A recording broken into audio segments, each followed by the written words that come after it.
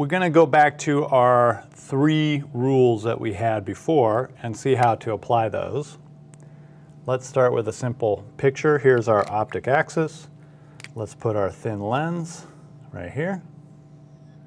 And that thin lens has a focal position, F, on either side, and it's symmetric.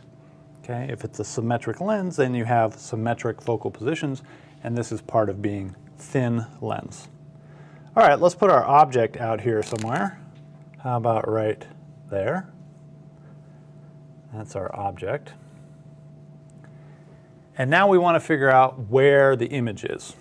Okay, how do we form that image? To do that, we go back to our three rules. And it's the same three rules that we used for the mirrors, except now we're going to use a lens.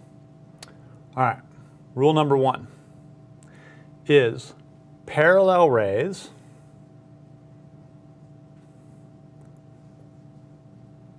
go through the focus.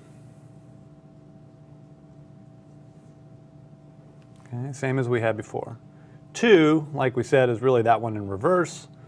Rays through focus.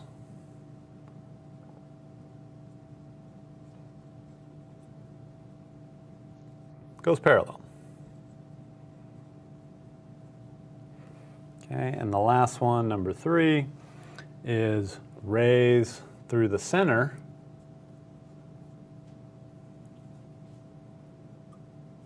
Do not bend.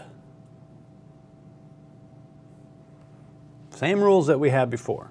We got to identify where the center is, right? We knew where it was for a curved mirror. It was the center of that radius of curvature. But here, for a thin lens, the center is in fact right in the center of the lens. Okay. All right, so let's see how to do this. We've got our object. We need to draw some of these rays. The first one is parallel ray goes through the focus. Okay. Parallel ray comes in. It's going to go through the focus it's not going to bounce off this glass and go back to this focus. It's going to bend and go through this focus. Okay, so this is ray number one. Ray number two is going through the focus, it then goes parallel. All right, going through this focus, it then goes parallel. This is ray number two. And then finally, here we'll draw a little separator right there. Finally, we have rule number three, which is rays through the center, do not bend. Now, we already have an intersection point, so you really only have to do two of these three. But just for kicks, let's draw the third one and make sure it works out. Rays through the center, do not bend. That's ray number three. Okay. And these are reasonably straight.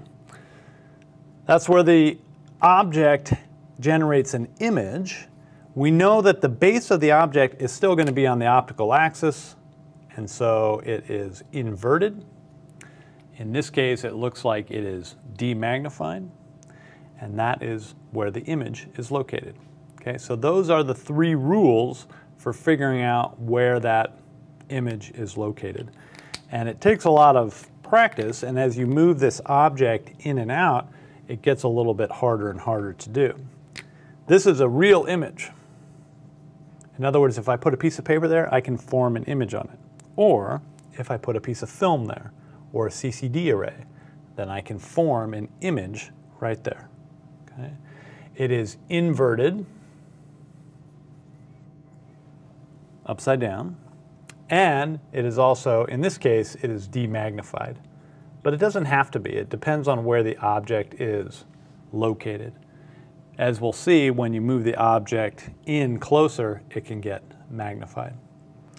Now, this idea of it being inverted is sort of interesting.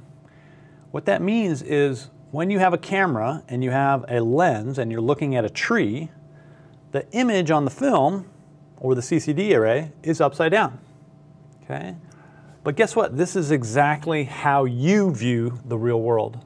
your eye is a lens. When you look at a tree, the image on your retina is upside down. The whole world that you're seeing around you is upside down. Your brain has figured out how to not really worry about that and correct for it.